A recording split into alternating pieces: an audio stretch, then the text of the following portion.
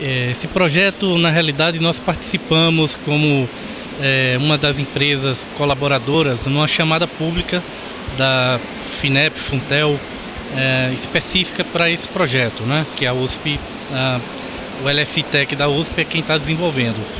É, como um parceiro, como colaborador do projeto, uma das nossas funções é exatamente levar essa inovação para o mercado, né?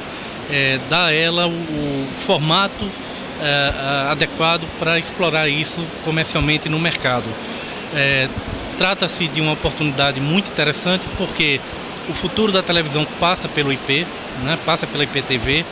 É, nós vemos muitas soluções concorrentes no, no mercado internacional, principalmente é, com essa proposta, e a ideia de ter, construir uma solução brasileira, né, baseada numa, uh, aderente a uma norma é, do ITUT, é, baseada no Midway, no, no, padrão de da NCL, é, a gente viu com, como uma excelente oportunidade né, para entrar numa área que tem uh, possibilidade, potencial de mercado internacional, mas ao mesmo tempo suportado né, por uma tecnologia criada no Brasil, né, uh, especificada no Brasil, mas com abrangência internacional.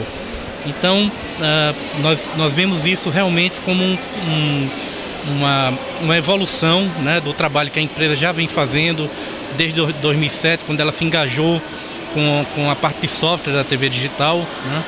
e com interatividade, etc. Então nós naturalmente vimos isso como uma evolução e como uma grande oportunidade, razão pela qual nós entramos em parceria com a, com a ULS Tech nessa chamada pública. Vocês já tinham procurado um projeto semelhante é, em outra parte do mundo?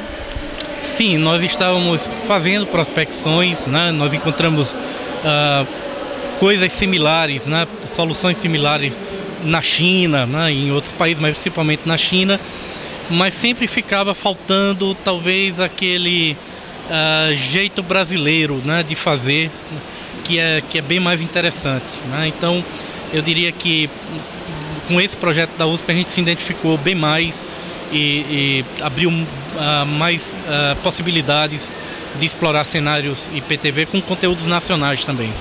Qual a expectativa de vocês para colocar esse projeto é, em ponto de partida comercial, para ele ser é, vendido mesmo para o grande público?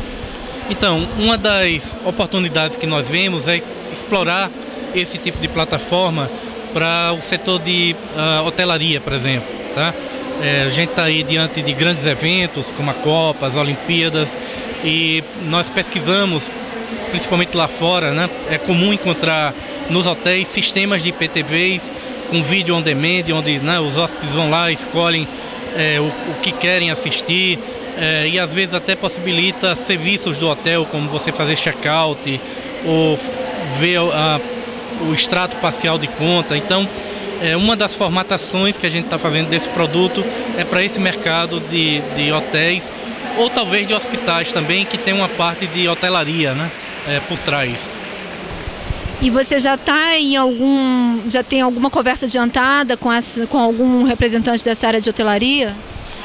Nesse momento a gente está buscando o parceiro de hardware. Tá? A gente está conversando com fabricantes de caixinhas é, para encontrar o, parceiro ou os parceiros que, que topem uh, fazer o porte dessa solução e dos aplicativos, né? Uh, não só do mídia, mas dos aplicativos também, da solução completa.